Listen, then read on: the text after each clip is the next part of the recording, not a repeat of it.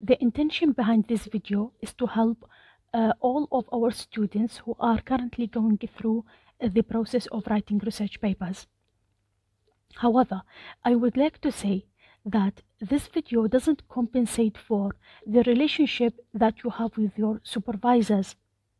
You have to constantly consult with your supervisors on the techniques uh, that you should uh, follow in your uh, in your writing also on um, uh, having an agreement on the topic that you write uh, about. So uh, this video the aim of this video is just to give you the basics the general knowledge on research paper writing. Let's start with research approaches. Now when doing research papers you have to put in mind which approach you are going to follow. There are actually four approaches. Uh, the first approach is the uh, philosophical approach that I am not listing in here.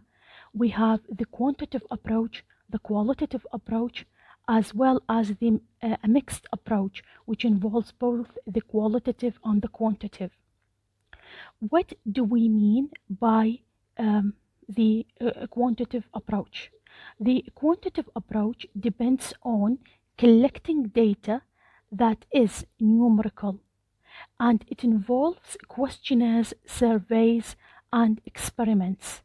So, any uh, um, study that involves questionnaires, surveys, experiments is called the quantitative approach. The qualitative approach, on the other hand, is the approach that depends on collecting data that is not numerical, such as interviews, documents, uh, observations, uh, audio recordings, um, uh, so as to generate theories. بمعنى انه الكوانتيتيف ابروتش تعتمد على statistics تعتمد على الاحصائيات وعلى الارقام التي تتوصل اليها في للإجابة على الأسئلة التي وضعتها في بداية البحث. The qualitative approach on the other hand تعتمد على تجميع مادة بطريقة مختلفة الهدف الرئيسي هو ليس الحصول على إحصائيات أو على أرقام وإنما تحليل المعلومات ال data المتوفرة للباحث وبهذه الطريقة هذه الطريقة أغلب الأحيان تستخدم عندما يقوم الباحث ب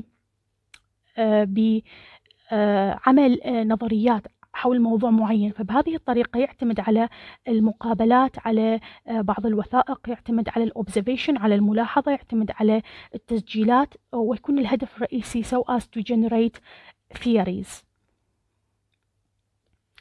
Uh, there is also what is called the mixed approach. The mixed approach depends on both uh, qualitative and quantitative methods of answering your research questions.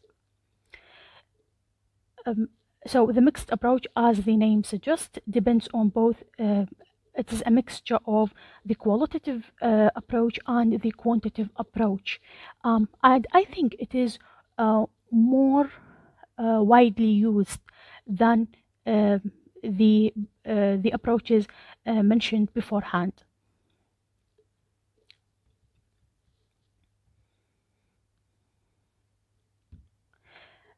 One of the most important things that you have to put in mind is the outlining. Outlining means sectioning off your, your paper so as each section discusses an idea that relate to the main topic of your research paper.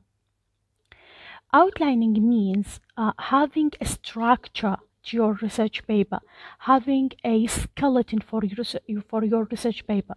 Now you uh, supposedly uh, you have agreed with your uh, supervisor supervisor on a certain topic. Now it's time to wait to um, to section off um, the the, gen the general uh, topic, the general idea that you have that you would like to execute in your research paper uh, now you are what? You are uh, giving a structure to, to your research paper. Now you are um, um, just um, drawing the skeleton of your study. And this is a very important uh, uh, uh, step in the research writing process and it may evolve. It means that at the beginning of uh, your writing, you, you may have a certain idea of your outlining, but then uh, things change as you read more, as you um, as you have a better idea of what uh, you are trying uh, to communicate, what you are trying to write, um, the the questions that uh, pop up in your mind as uh, as you are doing all of that. Um, إذا الأوتلايننج هي عبارة عن إعطاء شكل وتركيبة أو هيكلة للبحث اللي تقوم به وهو من الخطوات المهمة جداً. um, the introduction and conclusion I have just written the introduction and the conclusion and there are um, uh, certain steps in between. In general when you do the outlining you have to put in mind that, that there are basics. The basics are the introduction and the conclusion. And I will talk about um, the preliminary steps before the uh, the introduction uh, uh, in a few uh, seconds. But when you write your outlining, you have to put in mind that you should have an introduction and you should have a conclusion introduction and conclusion. In between, you uh, section of your research paper according to your topic. Uh, mostly, uh, some sections are purely theoretical and other sections are practical um, uh, and the practical uh, the practical side of your um, outlining is the most important part uh, because it is your contribution.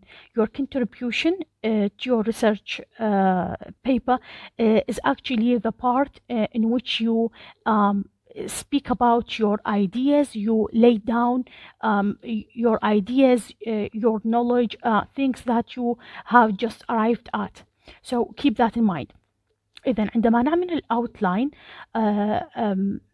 ال introduction وال conclusion هي من من ال section ات الرئيسية. ما بين ال introduction وال conclusion تقسم البحث uh, على أساس الموضوع اللي أنت جاي تشتغل عليه. Uh, طبعا بعض ال section ات بعض الأقسام بالبحث تكون theoretical. يعني تعرض مثلا الموضوع بشكل عام. إذا مثلا كنت تتكلم عن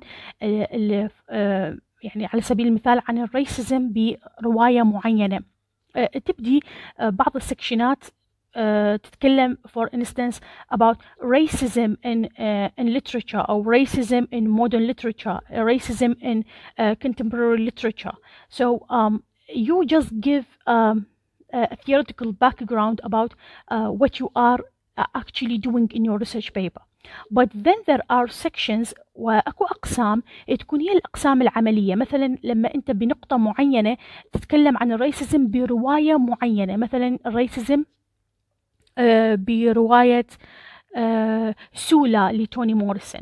اذا الموضوع اللي اختاريته أنت اللي هي العنصرية في رواية سولا لتوني موريسون هو اللي يكون الجانب اللي تظهر فيه إبداعك اللي آه، تتكلم به عن آه، وجهة نظرك عن آرائك عن بعض المصادر أيضا تضمنها المصادر اللي تدعم آرائك. فال outlining هو إعطاء تركيبة أو skeleton هيكل للبحث اللي أنت جاي آه، جاي تشتغل عليه. وهو من آه، من الخطوات الجدا مهمة لأنه هو راح يعطيك خطة آه، شلون راح تمشي والمواضيع اللي راح تتكلم بيها أو المصادر اللي راح تبحث عنها بعدين. Now, before the introduction, uh, there should be a section for abstract. And abstract is actually a uh, let's say um, it's a one page uh, um, essay. Um, usually we we speak about abstract sections. I will talk about this later in forms of essays. So in the abstract you give everything uh, to the readers of your of your study about what your study is about So let's read this. There is one main purpose for the abstract, which is to inform the readers whether your study is relevant to what they are looking for. Therefore, you have um, to refer to the main points in your study. You should state your problem, questions, objectives, and others. Start with the setting, uh, with setting the atmosphere for what it is like. Give your purpose, your methodology, and your results. It should be informative of what your study is all about. Now, the abstract can, uh, can compensate for uh, so many sections that uh, some supervisors um, might want uh, in their research papers um, might want their students to write in the research papers, such as the questions of the study, such as the problem of the study. I am not talking about these because of uh, one because of one reason, which is the abstract. Uh, the abstract can have them all. In the abstract, you can talk about your problem, your methodology, how you are going to solve your problem that you have just stated. You can also talk about uh, uh, your questions. Uh, you talk about your aims the aim of the study. All of these can be summarized concisely uh, in the abstract. And the abstract can compensate for so many sections as i said such as the problem the questions the the um, the objectives um, and all of the of these um, uh, subsections or what they call the preliminaries. So uh, here uh, comes a, a very um, important suggestion. Now you can consult with your supervisor. You either uh, ask your supervisor to um, uh, to choose between uh, giving uh, writing the abstract and all of these sections or just solely going for the abstract. Me myself uh, I uh, uh, told my students that I need them to write solid abstracts because the amount of papers that you have to write um, uh, you are limited on the uh, on the pages that uh, you are writing in your research papers. You are supposed to write between 20 to 25 pages uh, you can uh, go above this number, but it is within this range. So uh, in this point specifically, you need to consult with your supervisor. عندما تكتب ال abstract هناك عدة نقاط يجب أن تضعها بنظر الاعتبار وهي أن ال abstract هو آه، الصفحة الأولى من البحث وتكون آه، مخصصة للقارئ. يعني لما يجي أحد للمكتبة أو لي على الإنترنت يسوي surfing وأنت كاتب عن موضوع هو مهتم به. أول ما يسوي أول ما يجي للبحث آه، راح يقرأ ال abstract حتى يشوف هل إنه ال abstract relevant to what she is looking for or not. okay؟ اذا بال abstract تتكلم عن ال problem اللي موجودة بالبحث. يعني هو يكون ملخص البحث كله بهذا ال abstract تتكلم عن المشكلة اللي أنت جاي تناقشها عن الأسئلة اللي أنت آه، يعني خليتها لنفسك ببداية كتابة البحث. آه، تتكلم ايضا عن الobjectives عن الايمز اللي عندك آه، كلها تسوي لها يعني a summary in the abstract and this is um, a, re a really important step in your research paper writing now this is the skeleton of the abstract i said that um, there are steps you you talk about your problem you talk about your methodology you talk about some of the results that you arrive at okay? So um, the the abstract should be informative. Um, you see the abstract first of all should be informative. Overview of the research. You give an overview of your research in the abstract. A single paragraph to a whole page. Um, should, I mean uh, the length of the abstract should be from one paragraph to a whole page. That's all. The maximum is whole page.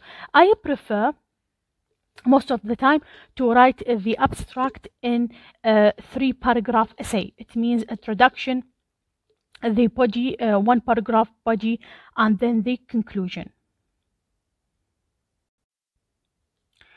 Uh, your uh, uh, abstract should also be descriptive, which means that it has to be to explain the purpose, goal, uh, and methods.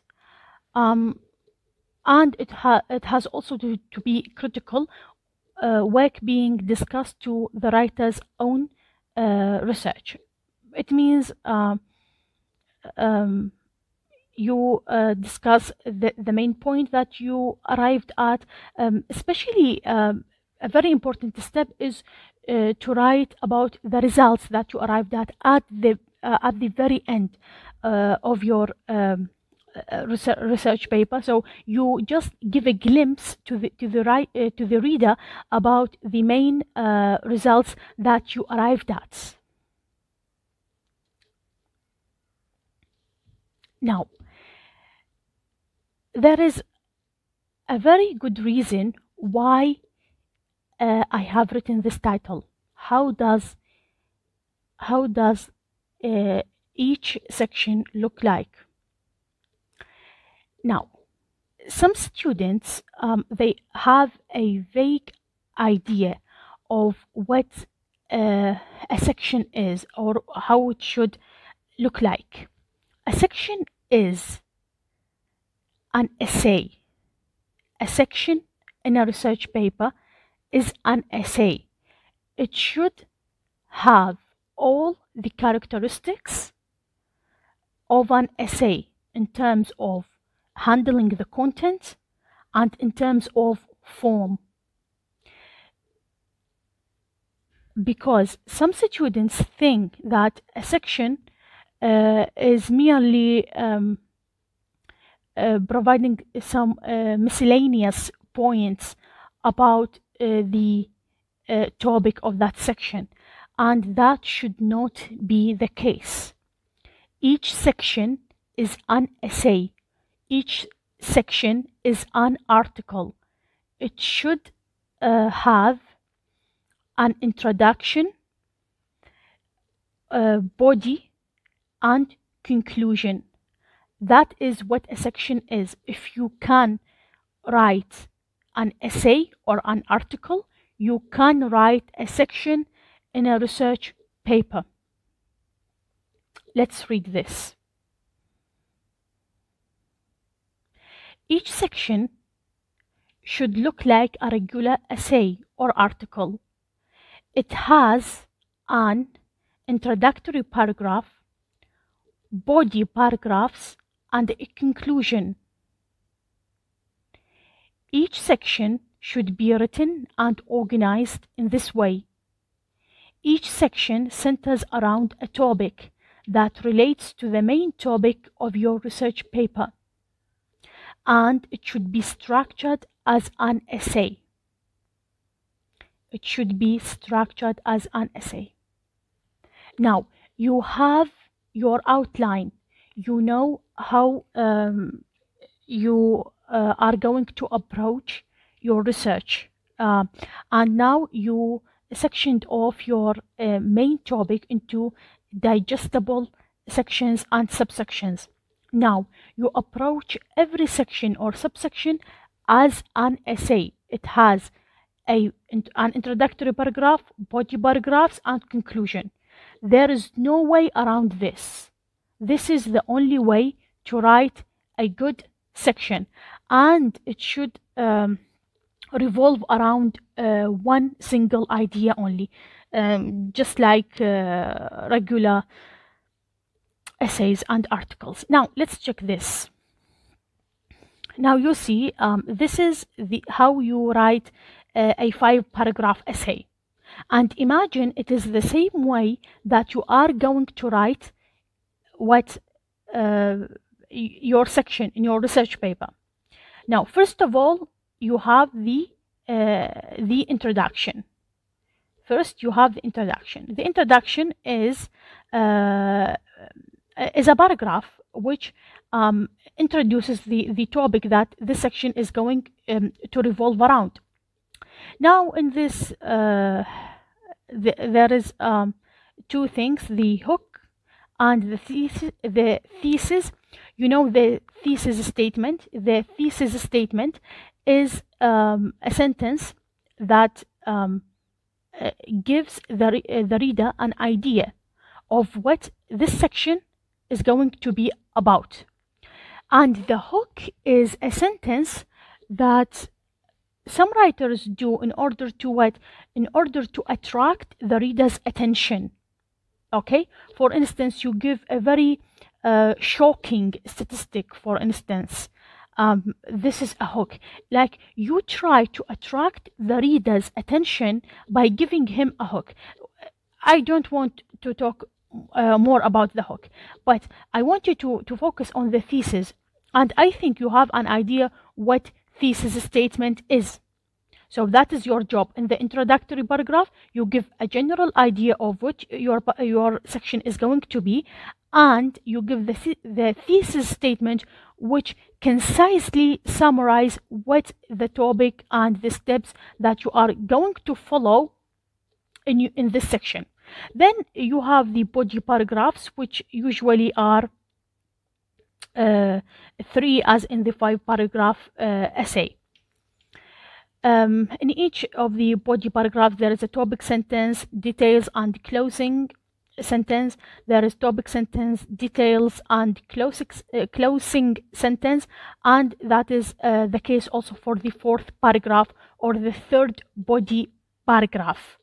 If you know how to write an essay, you can uh, write your uh, the, the sections of your thesis. And there is no better way to to illustrate this other than showing you the structure or this figure. Uh, then you uh, arrive at the conclusion uh, the closing paragraph uh, in which you uh, say your thesis differently and also you give a tone of finality to the section you give um, uh, you try to to give a very short summary of what has uh, already uh, been done in the in the essay or in the section. تكلمنا عن عن السكشنات او عن الاقسام اللي يتقسم لها البحث. وهو هي نفس الطريقة اللي أنا تكلمت عليها يعني هي أقصد ال outline لكن كل section أو كل قسم بالبحث لكن لازم يكون على شكل مقالة. يعني لازم يكون ب introductory paragraph لازم يكون ب body paragraph ولازم يكون ب conclusion. ماكو طريقة ثانية. يعني إذا تعرف تكتب مقالة من خمس paragraphات أو أكثر أو ثلاث paragraphات راح تكون بالنسبة لك سهل إنه تكتب ال sections مالت البحث وماكو أي طريقة ثانية ممكن تكتب بها ال section يعني لا تكتب ال section على شكل نقاط متفرقة miscellaneous points إنه تقول إنه هذا ال section لا هذه طريقة خاطئة. تكتب ال sections على شكل paragraphs. وهذا الفيجر هو يوضح الأمور uh, I really want to talk about the style of writing because the academic writing is very different from the writing that you have just seen in here which is totally subjective totally um, not academic, academic uh, if that makes any sense. Now, when you write your research paper, there are a number of things that you have to keep in mind. First of all, be objective and honest about what you are writing. It means when you write and then you come to revise what you have just written, you need to be objective and honest about it. If there is uh, anything that is misleading or anything that is not very obvious or something that is not very straightforward for the for the readers. And you need to change that. You have to make everything simple plain straightforward direct. Second keep your reader in mind. Now when you write and then you come to revise your writing. Keep in mind that your reader has to approach your writing in a very um, in a way that is obvious to everyone in a way that imagine yourself, put yourself in your reader's shoes and say, is that obvious enough? Did I uh, do great explaining this issue or that point? That is why you have to be objective and honest about what you are writing. Then, your ideas should stick together. Your ideas should stick together and logically progress. It means that there is no contradictions in your writing. There is what? There is no contradictions. Like every sentence flows in the other sentence and then you, we have uh, uh, your ideas or we have our ideas stuck together in a very cohesive way. This is important.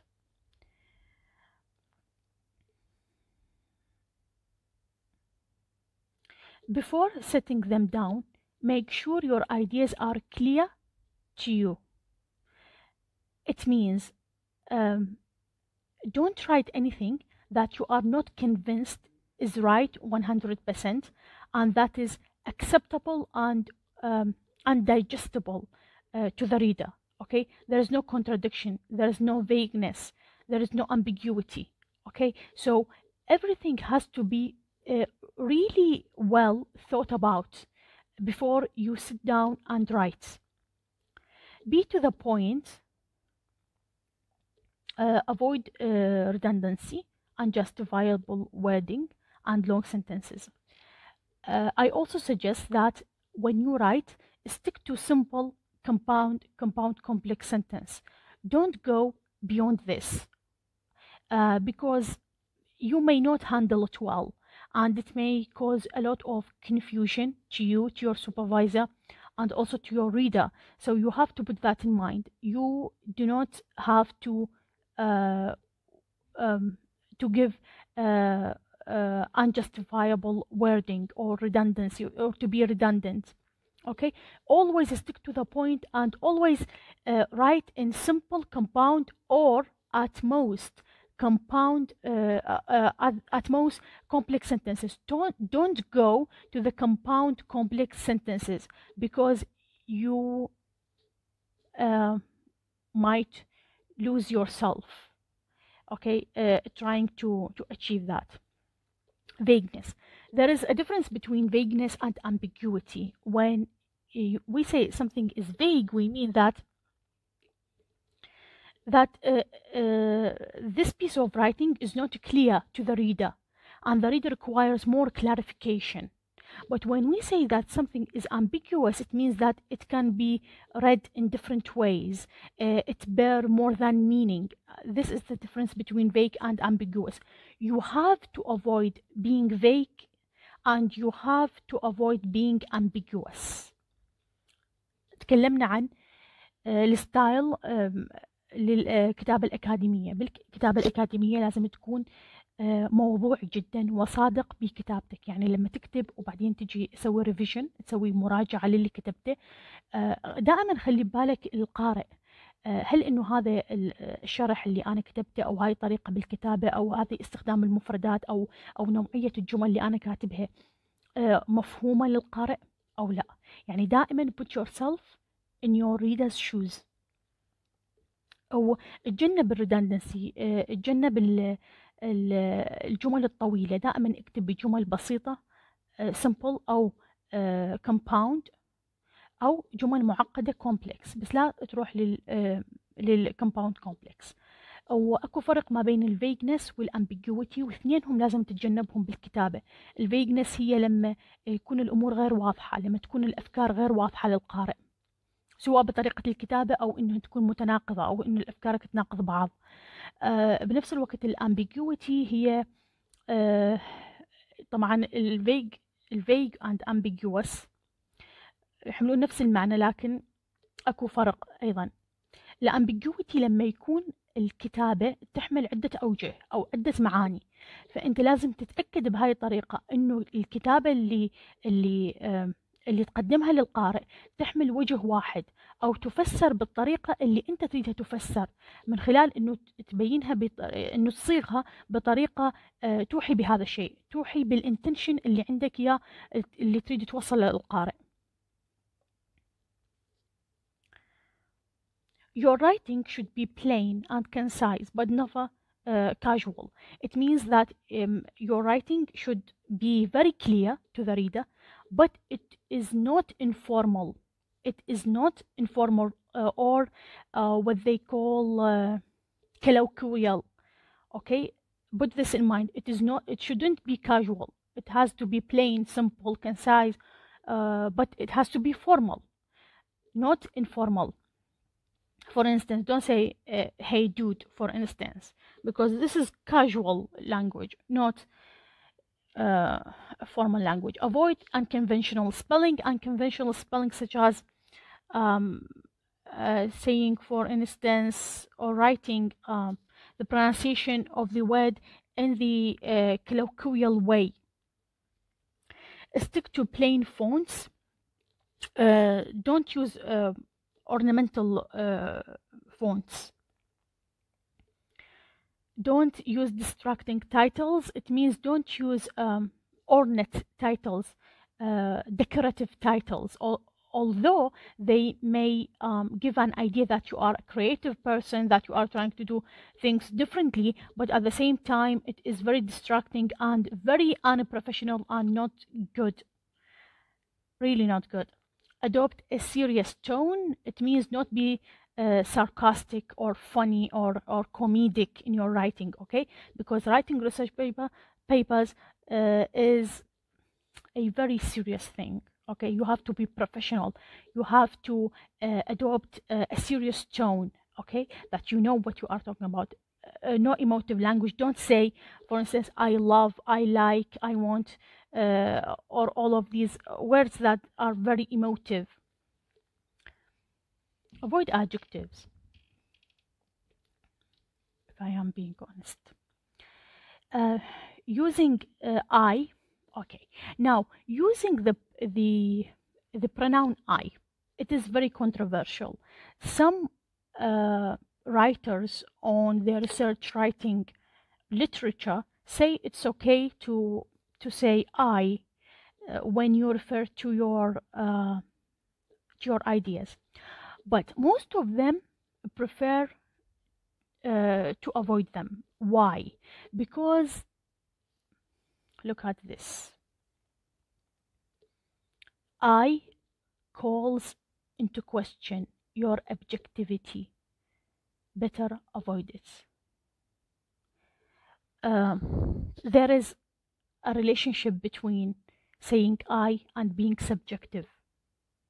And being subjective calls into question your objectivity. So, um, better uh, uh, avoid it.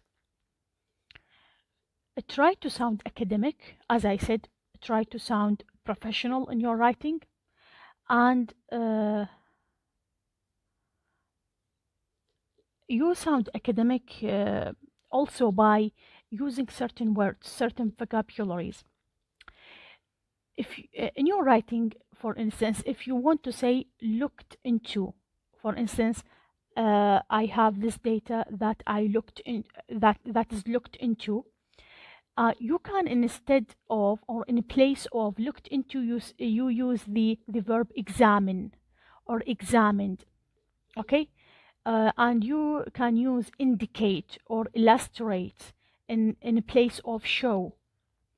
These uh, minor uh, changes leaves a certain effect of your writing and makes it look more serious and professional and academic, which is uh, actually uh, what you have to convey to your reader. uh, تكلمت بهذا السلايد عن السلايد عن آه، آه، اختيار ال font آه، ال font أو الخط إنه يكون خط professional وأيضا عن إنه يكون العناوين اللي تستخدموها بالكتابة هي عناوين مو distracting تكون عناوين بين professional ومنتقات بعناية وتكون واضحة. أيضا لا تستخدمون اللغة عاطفية. وأنا قلت تجنبوا الادجكتيفز بالإضافة إلى ذلك أنه أكو بعض الألفاظ هي تكون أكاديمية وبعض الألفاظ غير أكاديمية. مثلا كلمة examine هو هي لفظة أكاديمية جدا. على عكس مثلا كلمة look into. هو أنت تقدر تستخدم look into لكن بالكتابة الأكاديمية يفضل أنه تستخدم كلمة examine. كلمة indicate أو كلمة illustrate. هذين الأفعال الاثنين هم أكاديميين جدا وبروفيشنال كلمة show ممكن أيضا تستخدمها لكن يفضل أنه أنه تتجنبها وتستخدم كلمات أكثر حرفية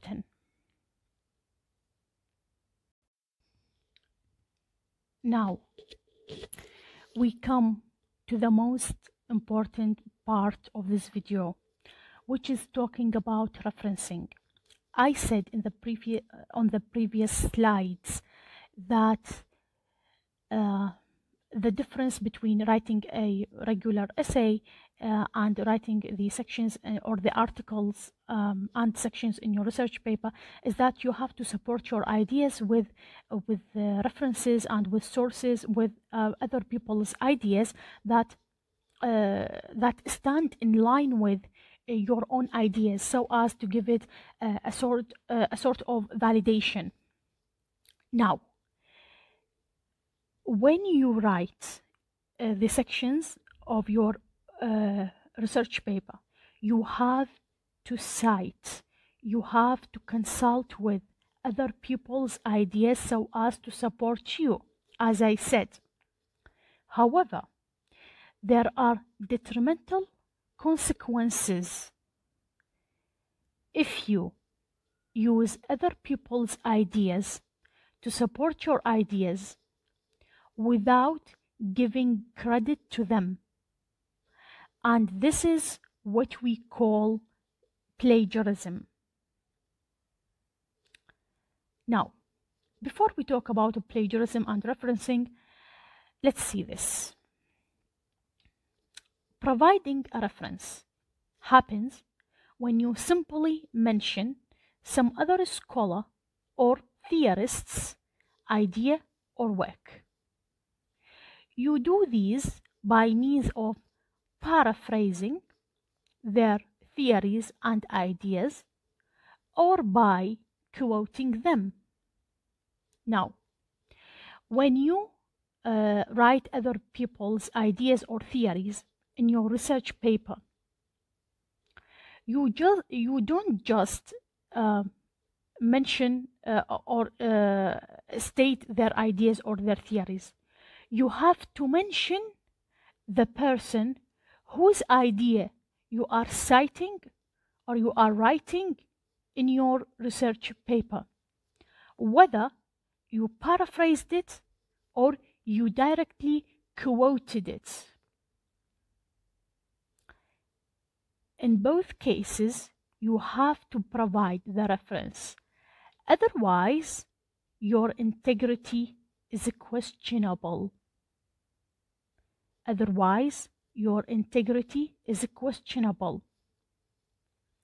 In general, there are two types of citation in text and bibliography page or reference list. لما تكتب السكشنز آه مثل بحث راح تستخدم أفكار الآخرين. طبعا آه هو كتابة البحث أو أي آه أي نوع من البحث سواء كان paper أو dissertation أو thesis. دائما الباحث يستعين بالباحثين اللي قبله اللي كتبوا قبله بنفس الموضوع أو بمواضيع قريبة هو يحاول أنه يشير لها بالبحث اللي جاي كتبه طبعا من تذكر أفكار الآخرين راح تذكرهن بطريقتين. يعني أنت ما راح تجيب هو شنو كتب مباشرة وتخليه بدون أي أي أي تغييرات. يا أما تسوي لها paraphrasing يا أما هي نفس الفكرة لكن تخليها بكلماتك. اسمها paraphrasing. نفس الفكرة أو نفس النظرية. لكن تصيغها بأسلوبك أنت بلغتك أنت. مو بس تغير الكلمات تغير حتى ال tense. يتغير حتى الزمن اللي انكتب انكتبت بيها هاي ال paragraph أو انكتب بيها هذا المقال. تغير كل شيء بيها. تخلي بس الفكرة. هذا اسمه paraphrasing. النوعية الثانية اسمها quoting أو quotation. اللي هي لما تاخذ الفكرة أو لا تاخذ sentence أو اثنين جملة أو اثنين من من المصدر اللي أنت جاي تكتبه بالبحث مالتك جاي تستعين به وتخليه بين quotation marks تخليه بين علامات آه هاي علامات الاقتباس. فإذا هو يا أما تعيد صياغة المصدر اللي أخذت منه يا أما ما تعيد الصياغة آه، وتاخذ جملة أو جملتين على مود تثبت حقيقة أنت شنو آه، أو صاحب النظرية شنو كتب أصلا وتخليه بين علامات اقتباس. ماكو طرق ثانية غير هاي. إذا سويت هاي الطريقتين أو ما ذكرت المصدر شنو راح يصير؟ Your integrity is questionable. راح يكون عندك يعني مسألة أخلاقية أولا وقانونية ثانيا. مسألة أخلاقية في أنك أخذت آه، فكرة الآخرين بدون ما تشير لهم. بمعنى سرقت فكرة شخص آخر بدون ما تشير له أو سرقت أسلوب شخص. يعني هو المشكلة لما تاخذ من شخص وبدون ما تغير ب آه، بدون ما تغير بال style مال الكتابه يعني هذا الشخص مثلا ظل يكتب 30 أو 40 سنة لحد ما توصل إلى هذا ال style بالكتابة. وأنت تجي تاخذ الفكرة مالته وتاخذ مالته وتاخذ ال style همين. يعني هاي اسمها هنا plagiarism والمشكلة بها إنه هي آه، آه، brings into question your integrity. لما سوينا هاي الطريقتين اللي هي paraphrasing وال quotation ونريد نشير لهن آه، بالبحث مالتنا. شنو نسوي؟ أكو طريقتين إشارتين نسوي. الإشارة الأولى اسمها in-text in-text citation. Or in-text referencing. يعني لما تخلص ال paragraph اللي انت سويت له paraphrasing كتبته ببحثك أو لما أخذت اقتباس ونزلته بال بال آه، بالبحث مالتك بال section اللي جاي تكتبه ورا ما يخلص الاقتباس أو ورا ما يخلص ال paragraph أو مجرد أنت ذكرت اسم الباحث تفتح قوسين بالقوس. راح تكتب ال referencing راح تكتب ال documentation آه، مالتك. اللي هي يتضمن بشكل عام آه، الاسم الثاني لل آه، للمؤلف وسنة النشر والصفحة اللي انت أخذت من عندها آه، الاقتباس أو اللي سويت لها paraphrasing راح نجي لهذا الموضوع بعدين. والطريقة الثانية اللي هي ال bibliography list لما تخلص البحث بشكل عام تنطي لستة, لستة المصادر اللي استخدمتها. Now, how the reference list should look like Now, first of all, we are going to talk about the reference list, and then I will talk about the in-text uh, uh, documentation or referencing. At the end of the document, when you finish off with your uh, with your writing, you have written uh, everything from the conclusion until uh, from the introduction or the abstract until the conclusion, and then you write what you write uh, the the list of references that you used in your in your research so it is at the end.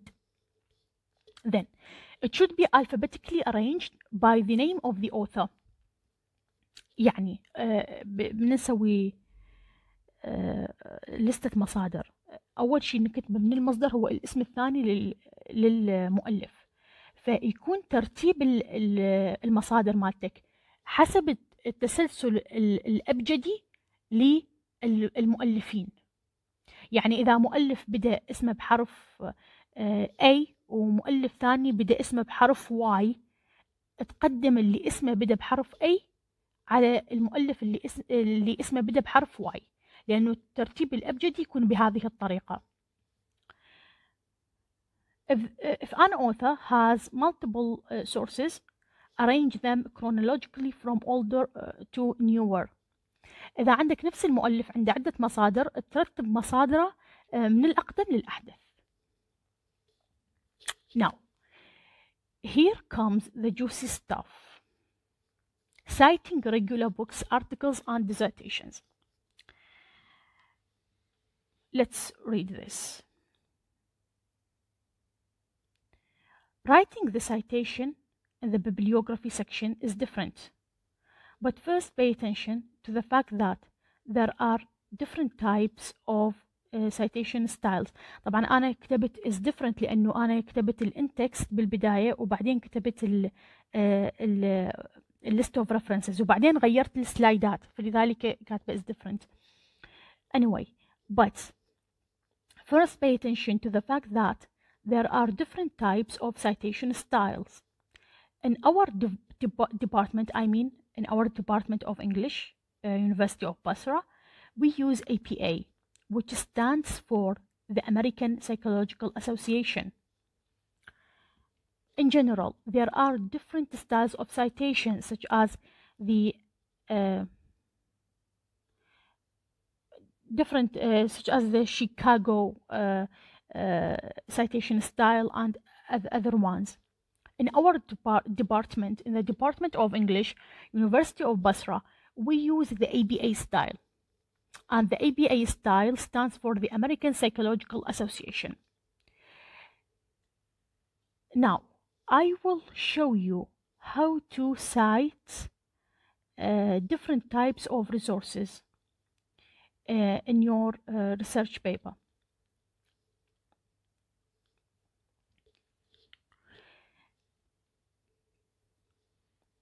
هذه الطريقة بالسايتيشن اللي اسمها ال ABA هي الطريقة اللي نعتمدها بقسم اللغة الإنجليزية. وهي طريقة سهلة بشكل عام. لكن آه، أكو بعض ال specifications أكو بعض الخصوصية لأنواع المصادر المختلفة. يعني مثلا إذا المصدر يبدي بمؤلف واحد one author book يكون ال citation مالته بطريقة إذا كان أكثر من مؤلف إذا كان خمس مؤلفين إذا كان آه، مقالة من مجلة إذا كان فيديو إذا كان website موقع إلكتروني. شلون نسوي لهن documentation أنا شنو أريد؟ آه، كل ما يصير عندك مصدر تيجي تضمنه بالبحث ويكون هذا المصدر مختلف ترجع لهذا الفيديو تشوف شنو الطريقة أو شنو القاعدة شلون نسوي له citation يعني إذا أنت جاي تكتب مثلا وصار عندك مؤلف آه، آه، كتاب من مؤلفين ترجع لهذا الفيديو تشوف كتاب من مؤلفين شلون نسوي له citation وتسوي نفس الطريقة. إذا صار عندك website شلون نسوي ال website آه شلون نسوي له ال documentation ترجع للفيديو وشوف شلون نسوي ال documentation حسب ال APA حتى تصير لستة المصادر عندك مرتبة وواضحة. ويعني وتتبع القوانين اللي إحنا نتبعها بقسم اللغة الإنجليزية اللي هي طريقة ال APA هسه. لما عندنا كتاب أو مصدر من مؤلف واحد الطريقة جدا بسيطة. هو هنا مو بس على كتاب على كتاب أو مقالة أو أو dissertation على رسالة ماجستير أو رسالة دكتوراه وبيها مؤلف واحد. شلون أسوي لها documentation بهذه الطريقة. عندنا authors. uh, sorry. Author's last name. فارزة. Author's first name. يعني الاسم الثاني للمؤلف تخلي فارزة. بعدين الاسم الأول للمؤلف أو ال initial يعني بال year of publication أو سنة النشر. بعدين عنوان الكتاب book title or article يعني عنوان الكتاب أو عنوان المقالة أو عنوان ال dissertation تكتب العنوان. نقطة. Location of publication مكان النشر مثلا لندن نيويورك بغداد any other city. semicolon semicolon والبابلشر الشركة أو دار النشر اللي نشرت الكتاب. الاسم الثاني للمؤلف بعدين الانيشل مالته وبعدين بين قوسين سنة النشر عنوان الكتاب. عنوان الكتاب تخلي جوا خط أو تسويه إيتاليكس تسويه مائل. نقطة. بعدين مكان النشر نقطتين شارحة والناشر منه مثال. ماكو مثال ما ذكرت.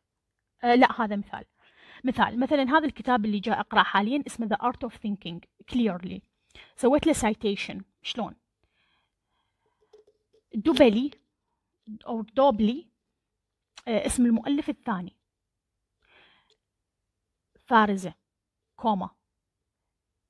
ال initial مال مالت الاسم الأول هو اسمه رولف أو هيك شيء فخليت بس R ونقطة. من تسوي ال initial دائما تخلي وراه نقطة. إذا تكتب الاسم الأول كامل ما تخلي نقطة. بعدين بين قوسين تخلي سنة النشر. سنة نشر الكتاب 2013 بعدين عنوان الكتاب. والعنوان طبعا كل كل كلمة content word يعني كل كلمة محتوى مو مو كلمة نحوية أسويها capital letter. The art of thinking clearly. شنو سويت؟ له خليت خط جواها. أو سويها بشكل مائل. أنا أفضل خط. ف the art of thinking clearly. نقطة.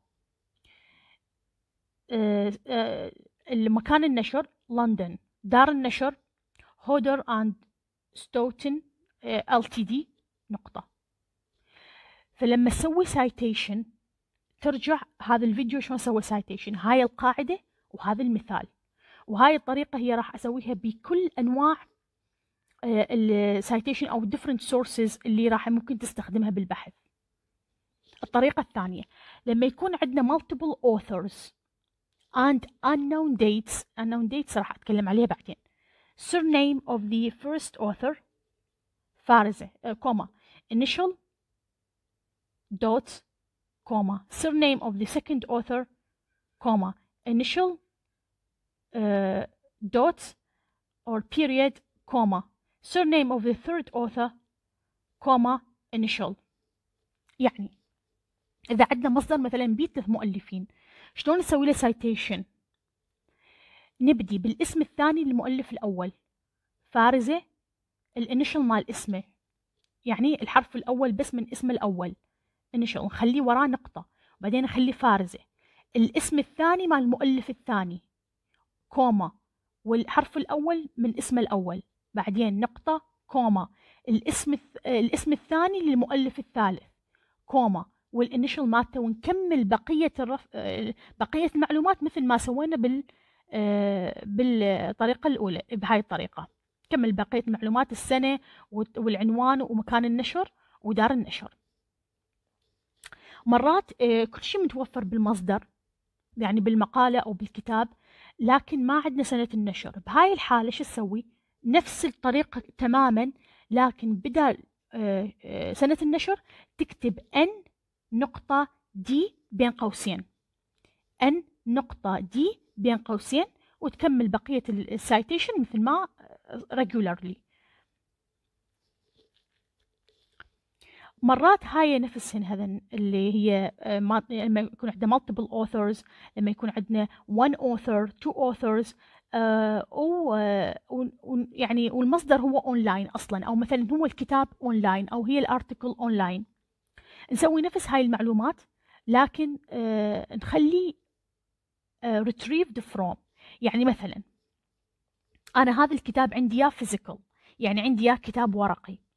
افترض إنه هذا الكتاب أنا ما جاي أقرأ كتاب ورقي جاي أقرأ PDF موجود على موقع مثلا جوجل بوكس أو اي مثلا جوجل بوكس فأنا هذا الكتاب ما أقدر يكون عندي ما ما أقدر يكون عندي ورقي.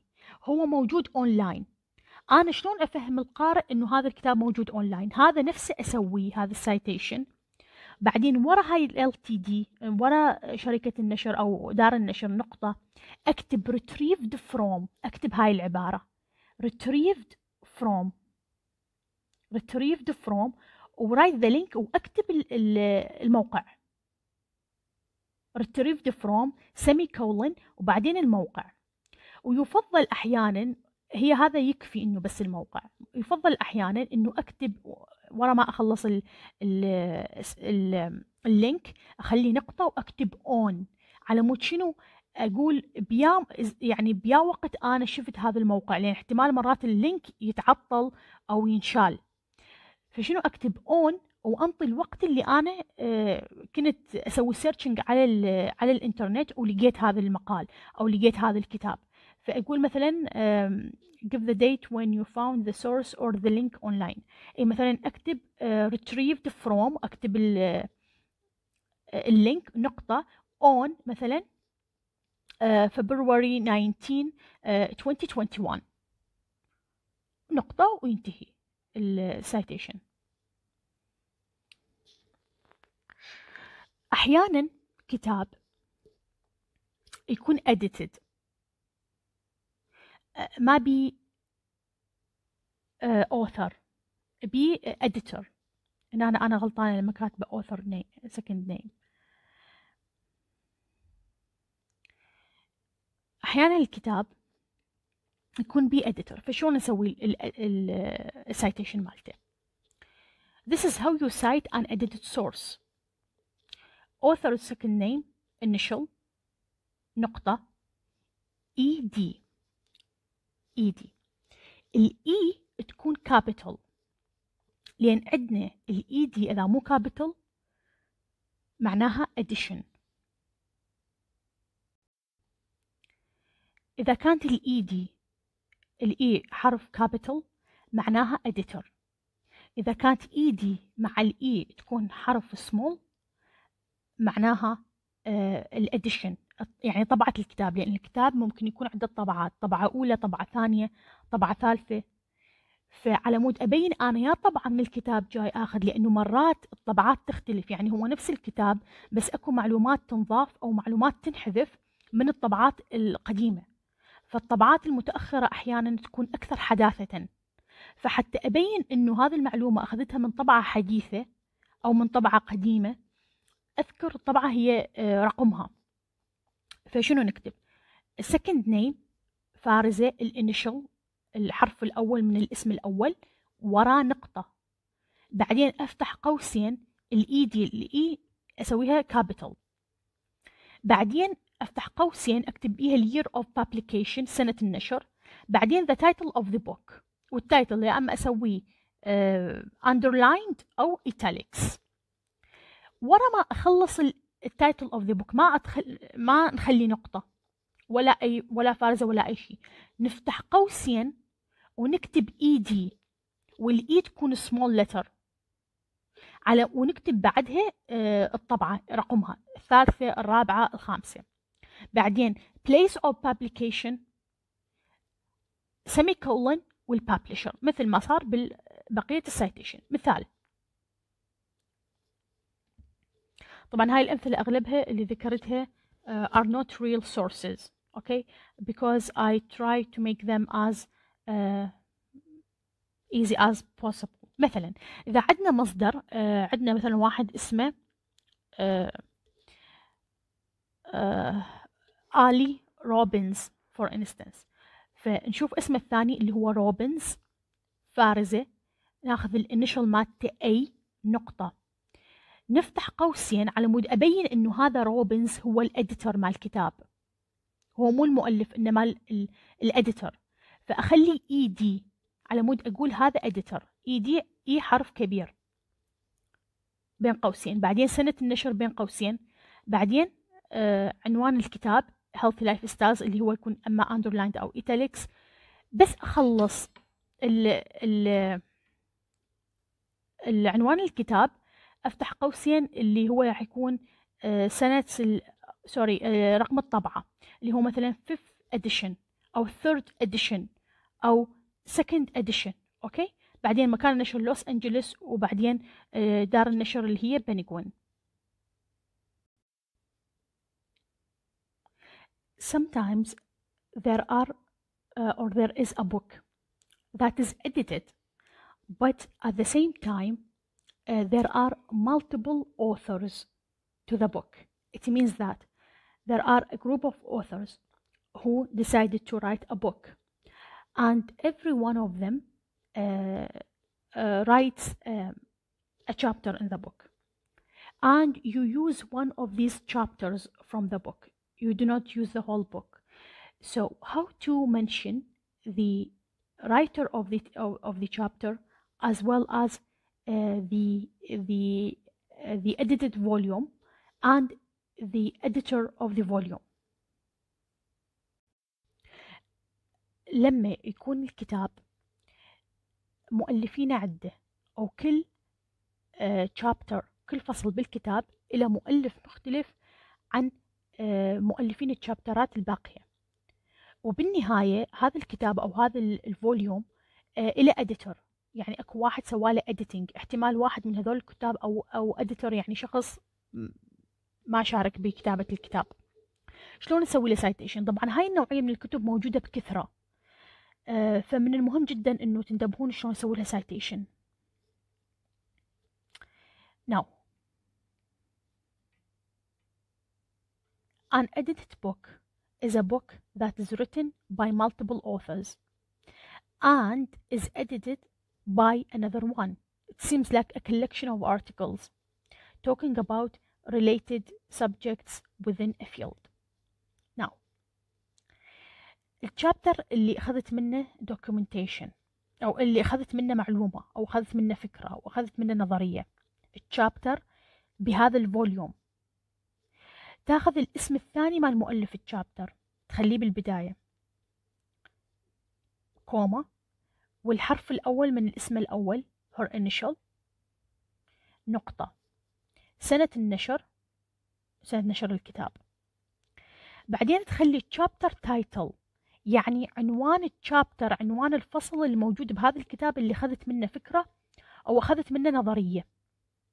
وما تسوي لها لا إيتاليكس ولا تخلي جواها خط. تخلي نقطة. تكتب كلمة إن. إن. وتكتب اسم ال editor مال الكتاب. ورا كلمة in تكتب اسم ال editor اسمه الكامل بدون ما تقلبه بدون ما تخلي الأول الثاني بعدين الأول. اسمه تبدي من الاسم الأول للاسم الثاني وهكذا. تخلي بين قوسين ورا ما تخلص اسم ال editor. Ed وال E تخليها كبيرة عمود لا تنخلط مع edition نقطة بين قوسين. بعدين title الكتاب اللي هذا ال chapter جزء من عنده. ويكون يا أما italics يا أما underlined بعدين لما تخلص آه عنوان الكتاب آه تكتب ال edition مثلا third edition fourth edition sixth edition. ورا ما تخلص ال edition تخلي فارزة وتكتب الصفحات اللي هذا ال chapter استغرقها. مثلا هذا ال chapter استغرق عشر صفحات من تسعين إلى مية. تخلي مثلا العنوان الكتاب تفتح قوسين. Third edition تخلي comma. uh, 90 to uh, 100 okay؟ بين قوسين. بعدين regularly as we do it as we did it in the uh, in the previous uh, citations. the place of public uh, of uh, publication or publishing place and the publisher say the the place of publication example مثلا اكو كتاب اسمه uh, مثلا اكو chapter اسمه working smart بكتاب اسمه leveling up in life طبعا ماكو هيك كتاب يعني هذا أنا خليته. أنا مودي يكون الأمور سهلة. فأنت أخذت معلومة من شابتر بكتاب اسمه Leveling Up in Life. وهذا الشابتر عنوانه Working Smart. ومؤلف هذا ال chapter مثلا اسمه توني بي okay؟ شلون نسوي له citation آه، الاسم الثاني للمؤلف توني آه، فارزة. B اللي هو ال initial مالته نقطة. سنة النشر مال الكتاب اللي هي مثلا 1998 عنوان ال chapter working smart. نقطة. In. هسه أجي على اسم ال editor مال مال الكتاب كله. ويليام روبرتس اسمه regular اللي كتبته. مثل ما هو. خليه بين قوسين Ed نقطة. بين قوسين. Leveling Up in Life. عنوان الكتاب اللي هذا ال chapter جزء منه. وأسويه italics. بعدين بين قوسين اكتب fourth edition أو رقم ال edition مالته. نقطة فارزة. عدد الصفحات. P P نقطة 67 to 89 بين قوسين كلهم هذول. الاديشن ورقم الصفحات. لندن اللي هو place of publication. Semicolon health publisher. يعني for example there is a publisher called health publisher اسمه health publisher نقطة. هذا بالنسبة لل edited book هذا الموضوع متى تفتهموه. لما يكون عندك مصدر تسوي له citation بهاي الطريقة يكون هو عدة chapter ات كل chapter بمؤلف وال chapter ات كلهن ب volume وبيها editor فترجع للفيديو تشوف شلون صار ال citation وتعمل مثله. Now there are sometimes online articles آه، اللي هي آه، المقالات آه، اللي تكون على على الإنترنت. وهاي ال articles تكون ب journal. journal. يعني ال journal مثلا College of Arts Journal يعني هي تكون من من الإصدارات الثقافية بكلية معينة أو معهد معين. okay؟ فهذا بهذه الإصدارات آه، يكون أكو مقالات معينة أنت تستفاد من عندها ممكن يعني بكتابة البحوث. فشلون تسوي لها citation بهاي الطريقة. أول شيء تروح على اسم المؤلف تاخذ اسمه الثاني تخليه فارزه تخلي ال initial مالته ونقطة وسنة النشر. بعدين تروح على عنوان المقالة المقالة اللي أخذت منها من هذا ال journal شنو اسمها؟ تكتبه. وتكتبه بدون أي بدون أي شيء. آه، بس تكتب ال capital letters ال initials مالت العنوان. تخلي نقطة. تكتب عنوان ال journal. شنو اسمها مثلا؟ شنو اسم ال journal؟ مثلا College of Arts Journal تكتب العنوان هذا كله ورا عنوان المقالة اللي كتبته اللي أخذت منها معلومة أو أخذت منها فكرة أو أخذت منها نظرية أو whatever.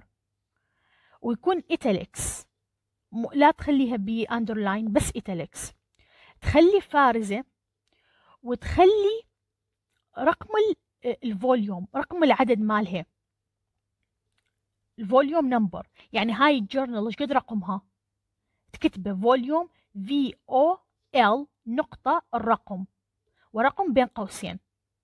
بعدين تخلي فارزة وتخلي الصفحات اللي هاي المقالة استغرقتها. مثلا هاي المقالة استغرقت من آه، عشرة إلى عشرين.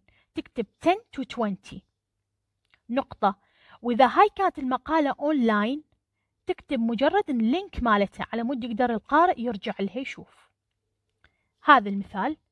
مثلا واحد اسمه سميث آي آه، كتب كتب article ب journal وأنت استفاديت من هاي ال article وتريد تسوي له citation بالبحث مالتك. شو تسوي؟ تاخذ اسمه الثاني اللي هو سميث تخلي comma وتخلي ال initial مالته. نقطة. سنة النشر مال المقالة هاي إيش قد؟ أو مال هاي ال journal كلها. مثلا 1996 هسه شنو تكتب؟ تكتب عنوان المقالة اللي انت أخذتها ال article عنوانها شنو كان؟ مثلا how to develop work ethics. تخلي نقطة. تروح شنو بعدين؟ تكتب اسم ال journal اللي هاي المقالة نشرت بيها.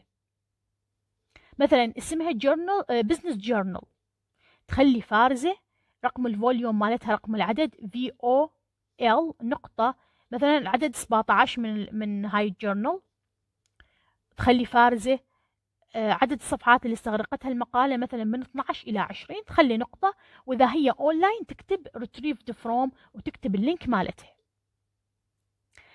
أفضل طريقة أنه تفهم هاي القضية لما يكون عندك article من journal مستفاد من عندها وتريد تذكرها بالبحث مالتك ترجع للفيديو هذا وتشوف شلون سوينا citing لل online articles اللي تكون journal articles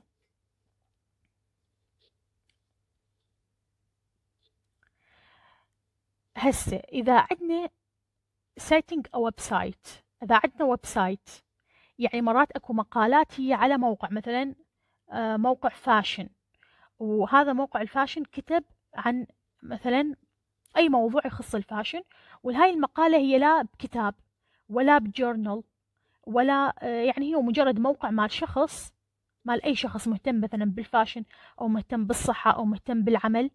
وعنده يعني شخص عادي وعنده موقع إلكتروني ويكتب مقالات بيه بهاي الحالة إذا أخذت معلومة منهم شلون أسوي لهم citation تكتب أحياء هو دائما صاحب الموقع يكتب اسمه على يعني قبل لا يبدي المقالة يكتب اسمه وبعدين تبدي المقالة كلها. فتاخذ اسمه الثاني تخلي فارزة مثل الطريقة اللي اتبعناها. وتخلي الانيشال مالته وبعدين تخلي شنو؟ مو بس السنة تخلي السنة والشهر واليوم. السنة تخلي وراها فارزة الشهر واليوم ما تخلي بيناتهم شيء وكلهم هذا ال date هذا ال ال ال الوقت آه ما تخليه هيك. بوحدة لا تخليه بين قوسين. بعدين تكتب ال title title المقالة. مثلا على موقع بي بي سي صحفي كتب مقالة مثلا آه domestic violence in Iraq. انت شنو تكتب مثلا هذا الكاتب اسمه ديفيد ديفيد روبنز تكتب روبنز فارزة D نقطة. مثلا نشر هذه المقالة ب 13th of January 2021 تكتب 2021 بين قوسين. وراها فارزة بعدين January بعدين يا يوم 13th وكلها بين قوسين. تكتب ال title اللي هو شنو؟ عنوان المقالة. uh, domestic violence in Iraq. وما تسوي لها أي شيء غير ال capitalization نقطة retrieved from. وبعدين تكتب الموقع البي بي سي اللي نشرت به هذه المقالة وها هي. مثلا هنا ذكرت لكم مثال راجعوه. زين إذا كان عندنا مجازين إذا كان عندنا مجلة شلون نسوي لها citation citing a magazine follows this last name initial the same jazz year month day as we did with the previous one with the citation with the website title of the article in the magazine uh, the magazine name and pp which means the pages. يعني الاسم الثاني لكاتب المقال بالمجلة. بعدين الانيشال مالته. بعدين آه اليوم والشهر والسنة اللي هاي المجلة طلعت بيها. مثلا مجلة آه ال ماجازين هاي أنا ناضية مثال هنا. وعنوان المقالة اللي موجودة بالمجلة بعدين. اسم المجلة بإيتاليكس وبعدين فارزة وأرقام الصفحات اللي استغرقتها هذه المجلة آه هذه المقالة. مثلا إذا واحد اسمه إل سميث نكتب سميث فارزة إل اللي هو ال initial مالته بعدين السنة اليوم والشهر. 1989 فارزة June 15th كلهم بين قوسين. How to lose weight اللي هو عنوان المقال بالمجلة. نقطة L.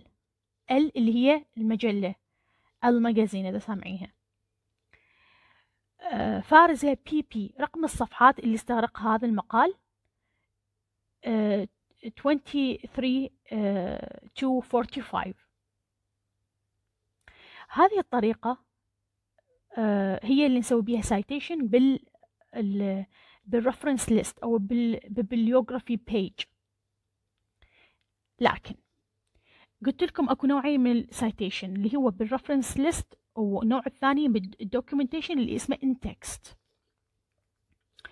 بال in-text آه يختلف الموضوع.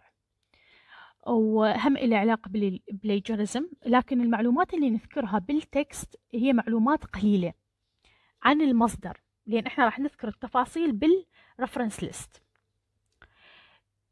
آه القضية هنا هو وين تخلي ال citation يعني أنت ال documentation وين تخليه بالنص؟ يعني أنت جاي تكتب هذا ال section وين تخليه؟ يا أما هي أكو طريقتين يعني رئيسيات.